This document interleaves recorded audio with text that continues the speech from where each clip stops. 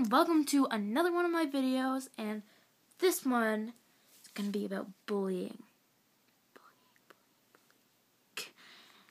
If you are a bully, then you can fuck yourself.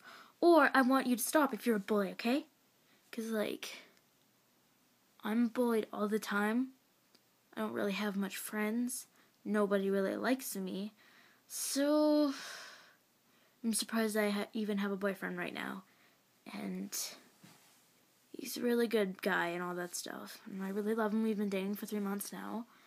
But I don't really have very much friends because I'm bullied all the time. I'm judged all the time for how I am. Nobody really likes me. Like I said, and it happens all the time, every day. Like, let me think. I only have like three friends Courtney, Cheyenne, and Sky. And my boyfriend, so he's not really friend, he's more than that. Because I really love him. He's a good guy. The best person I've ever met in my entire life. And he can make me happy all the time. Even when I'm as sad as can be. But sorry, I'm going to talk about myself, but yeah. Bullying is a bad thing. You shouldn't do it. It's not right. Why would you judge somebody for how they are? You don't even know them. They could be a really awesome, great, fun person to hang out with. But you just decide to judge them for how they look. You don't even know who they are. Like, a while ago, it was quite a while ago actually, but I saw this video that was really inspiring. And it's called You Know My Name not my story.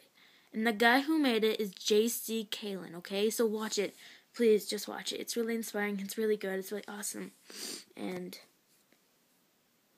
it's just awesome. So please, please watch it. It's a good video. It's really great. Just watch it. It's awesome. And if you are witness of being bullied, I know what it feels like. I know how it is. And if you think you don't have anybody to talk to, you can talk to me. Okay? And if you want if you want to talk privately, not just in the comments or anything, cuz I will always look at comments, I will always talk back and all that stuff. But if you want to talk privately about it, you can always go with me on Facebook, like add me on Facebook. My name's Alyssa Malin. It has a picture of me. So please you can always talk to me, okay? Because I know how it feels like. I won't tell anybody. I won't judge you. I won't be mean to you for how you are or how you act or the way you look like, okay? Like, especially last year was really bad for me, but like, it's really hard. It's not a fun time. It's really hard to go through. And, like, some people, it happens every day, like me that's yeah, and all that stuff. And if you're a bully, please just stop. You're ruining somebody's life by the second. And they can start harming themselves like I did. They can even kill themselves just because you are bullying them. So if you bully somebody and they kill themselves, how do you, that make you feel?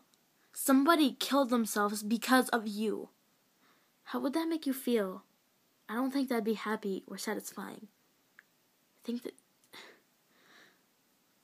just because you judge somebody for how they are, how they look, how they act, doesn't mean you have to judge them.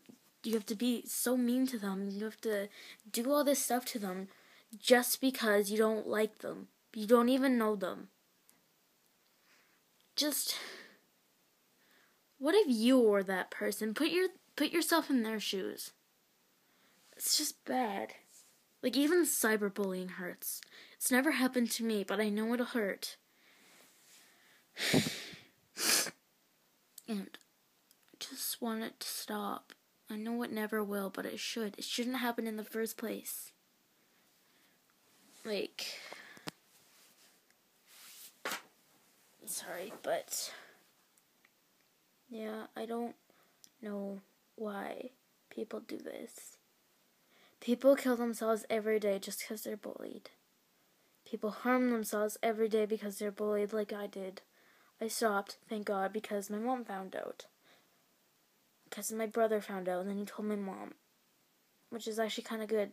So now I stopped. But some people just don't stop. Sometimes they hit their veins on purpose, too. Because they want it to be over with.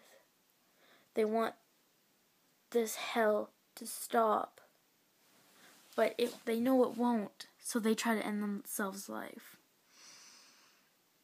Why? Why do you have to do that to them? Like, even if somebody has a disability, maybe they can't walk, they don't have legs, they don't have arms or something, doesn't mean you have to be such a bitch to them. It's like, oh, this person doesn't have a leg, I'm gonna bully them, I'm gonna hate them. No, why? What the hell? And I realized that a lot of the bullies don't even realize they're bullying people. Honestly, I don't. Honestly, they don't, sorry. They just don't even realize that they're bullying somebody, that they're ruining, ruining somebody's life by the moment that that person is cutting themselves or harming themselves and trying to kill themselves just because of you.